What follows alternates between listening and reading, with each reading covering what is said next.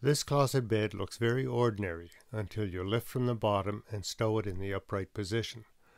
The leg system automatically retracts as it is raised. The European inspired slat system ensures a comfortable, resilient base for the mattress of your choice. The concealed springs at the base are adjustable for twin, full, and queen sizes. The anchor supports are adjustable for different thicknesses of mattresses and can be secured to either the baseboard or the floor.